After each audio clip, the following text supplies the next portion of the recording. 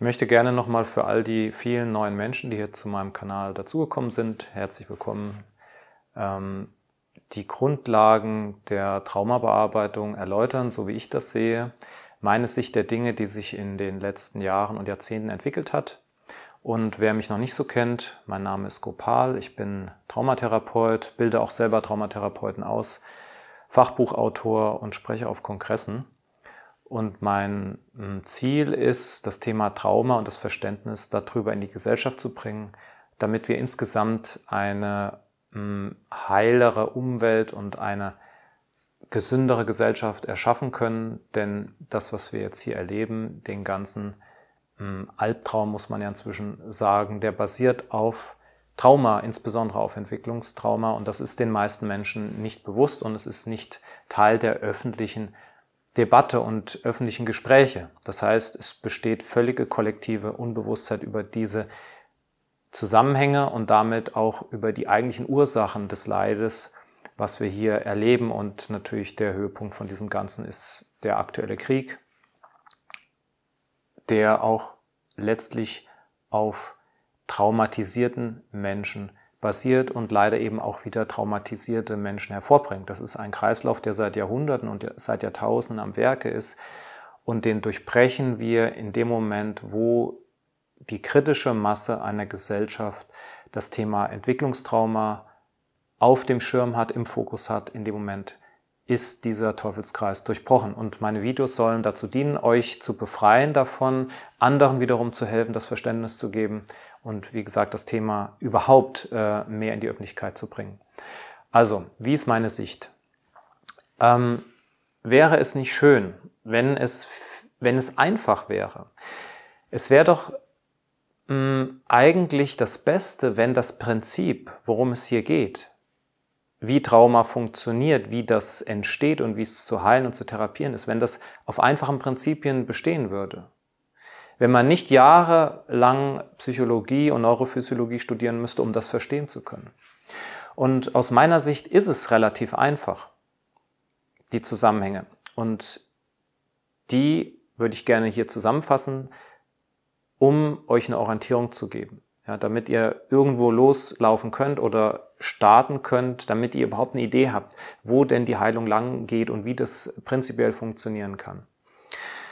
Meine Sicht der Dinge ist, dass Trauma und das Leiden, was sich daraus manifestiert, aus vier Punkten in einem Kreislauf ähm, besteht.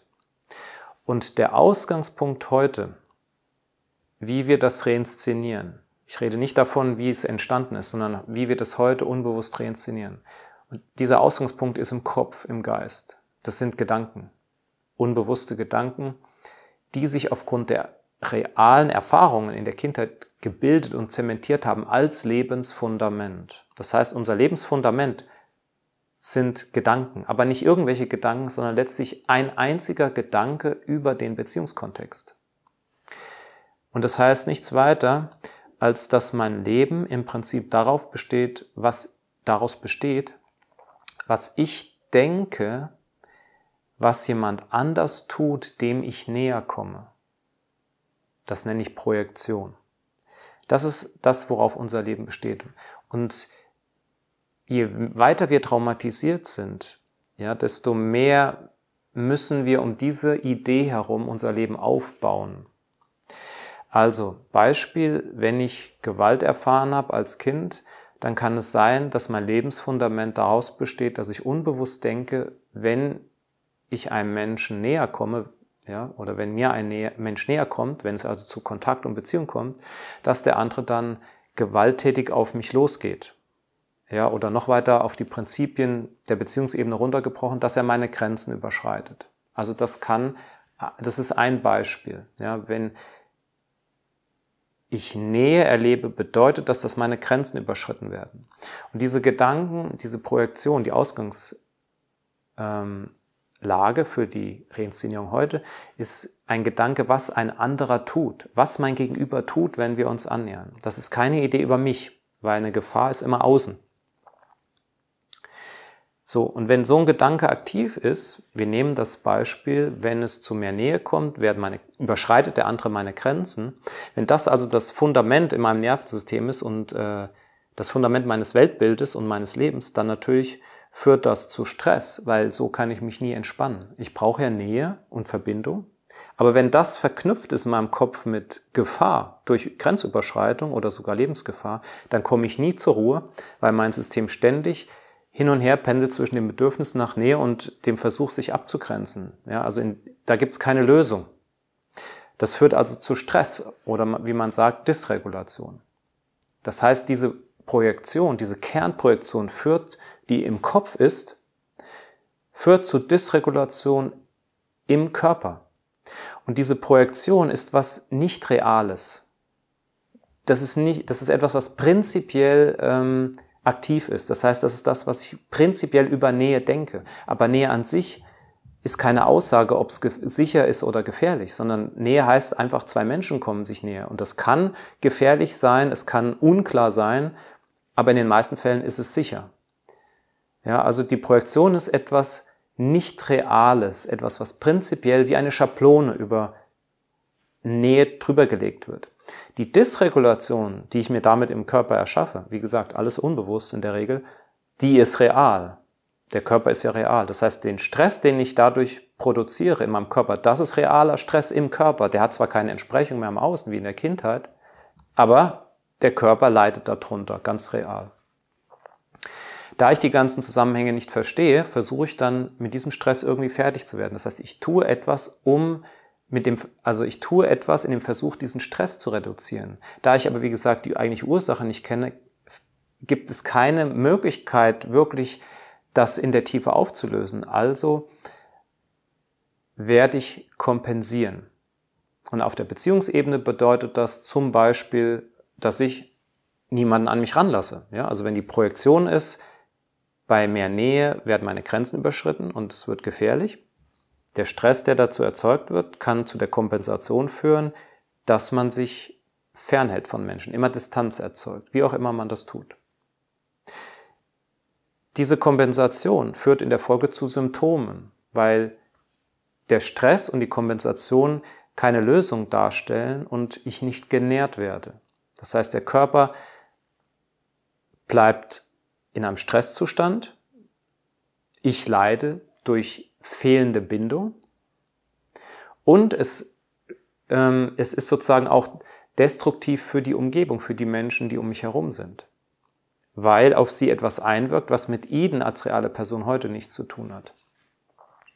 Also habe ich am Ende Symptome, zum Beispiel Einsamkeit, zum Beispiel permanente Konflikte, Substanzabhängigkeit, ja, was auch immer sich zu dem, als in der Folge der Kompensation eben bildet. Ja, und das Symptom kann entweder den eigenen Körper betreffen oder eben andere Menschen. Ja, dass ich immer verlassen werde zum Beispiel oder dass Menschen aggressiv auf mich werden oder dass ich keinen Partner finde. Ja, oder wie gesagt, irgendwann dann sogar körperliche Krankheiten, wenn der Stress über lange Jahre andauert. Das heißt, wir haben diesen Kreislauf von der Projektion zur Dysregulation, zur Kompensation, zum Symptom. Und das wiederum sieht dann natürlich so aus, subjektiv für mich, dass diese Projektion real ist, dass die immer noch stimmt.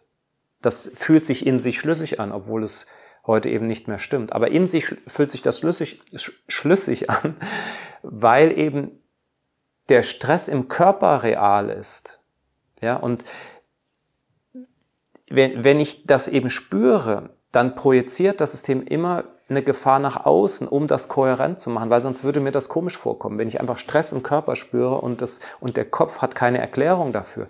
Das würde, das, das macht der Organismus nicht. Der versucht das kohärent zu machen, also projiziert er. So, und so ist es wie zwischen der Projektion und der Dysregulation ist, das ist selbstverstärkend, ja, so ein kleiner Kreislauf und in diesen vier Punkten verstärkt sich das insgesamt nochmal so. Und das ist jetzt die Frage, wie soll man da rauskommen?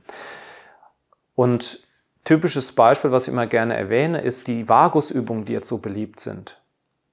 Das kann das Problem nicht lösen, weil ich am Symptom ansetze. Ja, natürlich ist das, sind Vagusübungen besser als ähm, Substanzmissbrauch, aber es setzt am Symptom an, nicht an der Ursache. Und ich komme nicht Ich komme prinzipiell nicht von der Bearbeitung eines Symptoms zur Ursachenauflösung. Das geht nicht.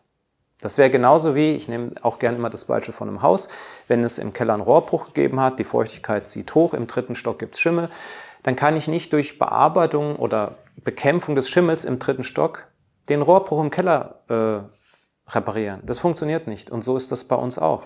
Wenn ich Vagusübungen mache, erlebe ich vielleicht Entspannung, ja, ganz sicher sogar, wenn das funktioniert, wenn ich das richtig mache.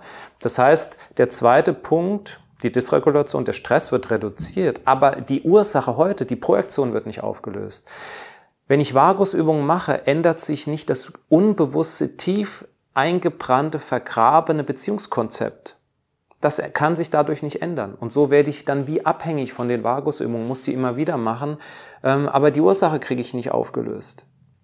Deswegen ist mein Ansatz und der Ansatz eben des Verfahrens, was ich entwickelt habe, Floating, ist an der Projektion anzusetzen und die herauszufinden. So, und das mache ich mit den Teilnehmern, das machen die miteinander sozusagen, dass wir versuchen herauszufinden, was ist die Kernbeziehungsidee, nach der ich lebe. Und die ist unbewusst, da brauchen wir Hilfe, ja, weil unser ganzes Leben darauf ausgerichtet ist, das eben nicht sehen zu müssen.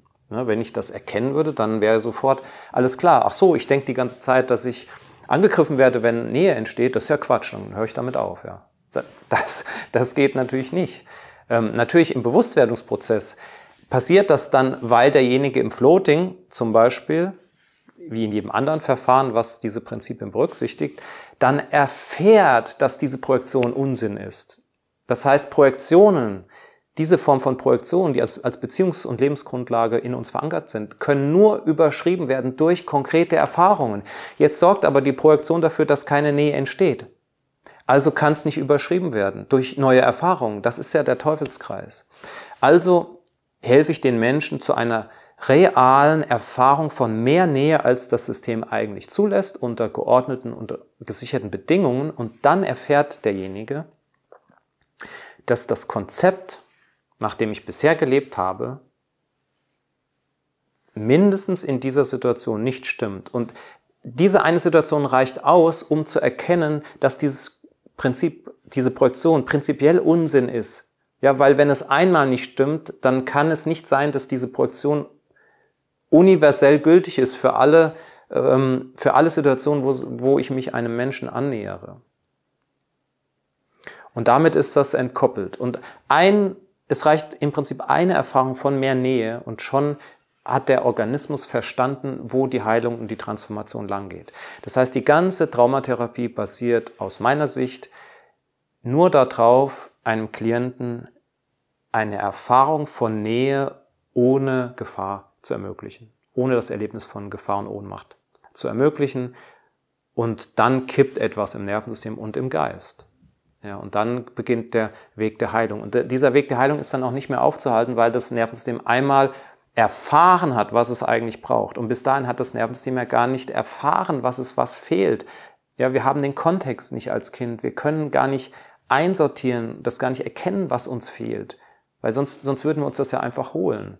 So, deswegen ist ab einem bestimmten Maß von Traumatisierung ist immer ein Therapeut notwendig. Das können wir nicht alleine lösen. Und das ist halt auch das, was viele probieren. Als Kind waren wir alleine, da gab es keine externe Ressource im Extremfall, die uns geholfen und reguliert hat. Deswegen sind heute viele Menschen unbewusst äh, in dem Versuch gefangen, das alleine lösen zu wollen. Und das geht nicht. Wir können Entwicklungstrauma nicht alleine lösen. Das geht nicht. Wir können generell nicht alleine leben. Wir können nichts alleine lösen in dem Sinne, weil wir prinzipiell äh, Säugetiernervensysteme haben, die fundamental auf Kontakt und Beziehung angelegt sind. Wir brauchen Kontakt und Beziehung. Und das muss einmal in das System rein. Dass Kontakt und Beziehung was Schönes und Nährendes sein kann. Und nicht zwangsläufig Horror und, oder nicht möglich. Ja, wenn das dein System mal erreicht hat, Kontakt, Nähe und Beziehung, ist etwas Schönes. Und alles, was da passiert, was auch vielleicht Konflikte angeht, kann im Dialog gelöst werden. Wenn, wenn das als Erfahrung in dein Nervensystem kommt, dann ist die Sache erledigt. Und der ganze Albtraum, der geht, die Suche und die Verzweiflung und alles, das ganze Leiden, das geht bis zu diesem Punkt. Und wenn du das einmal erfahren hast, das können alle bestätigen, die diesen Punkt erreicht haben, dann ist der Horror zu Ende, weil du dann weißt, wo es lang geht. Du hast einmal das Licht gesehen, ja, dann ist, dann ist das Herumirren in der Finsternis, das ist vorbei. So, das ist also zusammengefasst nochmal meine Sicht auf Trauma und Entwicklungstrauma. Und ich habe ein ausführliches Video zu diesen vier Punkten gemacht. Äh, wenn dich das interessiert, verlinke ich unten in der Beschreibung tiefe Einblicke in die Traumaarbeit mit Floating. Da erzähle ich ganz im Detail die Zusammenhänge, was da wie wirkt und die einzelnen Ausprägungen. Ja, und wenn du das also wirklich wissen willst, auch vor allem, äh, wenn du selber therapeutisch tätig bist, dann empfehle ich dir dieses Video dazu. Und für die, die auf der Suche sind, ich kann immer nur wiederholen, das sage ich oft, du darfst nicht aufgeben. Ja, das ist das Wichtigste. Nicht aufgeben. Wenn du suchst und weiter suchst und auf eine Lösung bestehst, dass du jemanden findest, der dir helfen kann, dann wirst du diesen Menschen finden, egal wer das ist, aber du wirst dann diesen Menschen finden, der dir helfen kann. Und der Beginn ist, dass du Informationen hörst, bei denen es bei dir plötzlich Klick macht, wo du merkst, ah, der, der redet über das, was in mir los ist. Ich verstehe das zwar nicht oder ich habe es bisher nicht verstanden, aber das, das ist das, was mich betrifft.